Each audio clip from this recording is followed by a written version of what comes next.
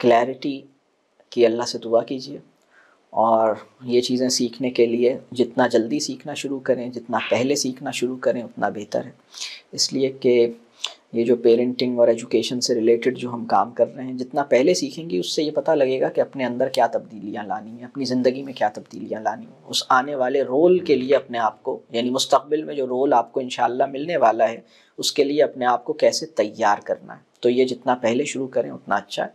और जितनी क्लैरिटी होगी, उतने ही मामला आसान हो जाएँगे। तो क्लैरिटी की कोशिश करें क्लैरिटी हासिल करें। एक ही कंटेंट एक आदमी के लिए मनफात बख्श होता है और एक ही कंटेंट दूसरे आदमी के लिए वबाल होता है। ये बड़ी अजीब बात है जो मैं अभी आपसे अर्ज़ कर रहा हूँ। एक तो एक कंटेंट की टाइप है जो अच्छा कंटेंट है और एक कंटेंट की टाइप है जो बुरा कंटेंट है। एक चीज़ तो ये है, वो अपनी जगह ठीक है। जो अच्छा कंटेंट है उस कंटेंट का भी जो इस्तेमाल है और उस कंटेंट के साथ जो कमिटमेंट है या उस कंटेंट का जो आ, अपनी ज़िंदगी में इस्तेमाल है वो भी उसको एक कह लीजिए वबाल और खैर दोनों तय कर सकता है।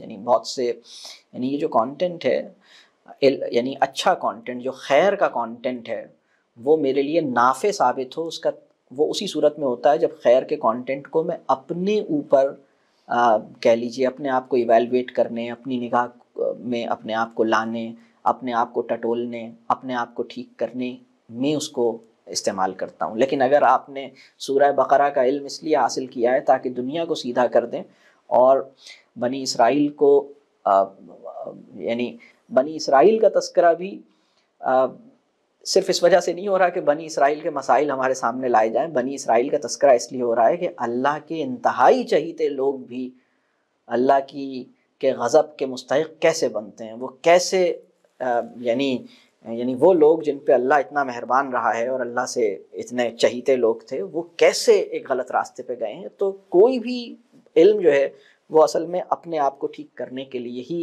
हमें दिया जाता है। जो सवाल है, मैं उसके जवाब में ये कह रहा हूँ कि एक इल्म नाफ़े हासिल करने की कोशिश करें और उस इल्म नाफ़े के इस्तेमाल नाफ़े की कोशिश करें। मतलब इल्म नाफ़े हासिल हो गया, उसका इस्तेमाल गैर नाफ़े शुरू हो गया, इससे बचें।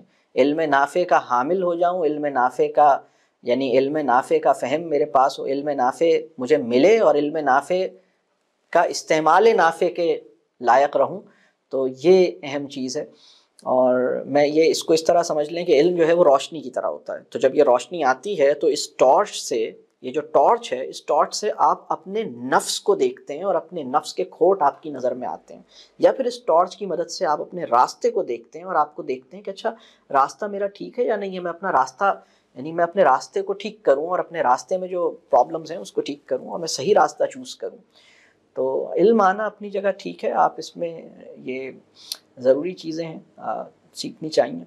ज़िंदगी के हवाले से, रिश्तों के हवाले से, वालिद या पेरेंटिंग के बारे में अवेयरनेस पेरेंट बनने से मेरे नज़दीक पाँच साल पहले से आनी शुरू हो जानी चाहिए, ताकि हम, और बल्कि अल्लाह का एक निज़ाम ऐसा है कि आपको माँ बनाने से पहले नाइन मंथ्स पहले अल्लाह इस बात की तला दे देता है कि आप आपको आप एक जहनी और नफसियाती तौर पर एक ट्रांसफॉर्मेशन से गुज़रते हैं एक एक मेंटल मेंटली प्रिपेयर होते हैं और आपको एक अंदाज़ा होता है कि एक बहुत बड़ी ज़िम्मेदारी आ रही है तो आप उसको आपको इतना टाइम चाहिए होता है। मतलब अल्लाह तो कादिर था इस बात पे कि दो हफ़्ते में भी आपको यानी अल्लाह चाहे तो दो दो हफ़्ते में भी कर सकता है ना ये काम जो नौ महीने में किया गया है।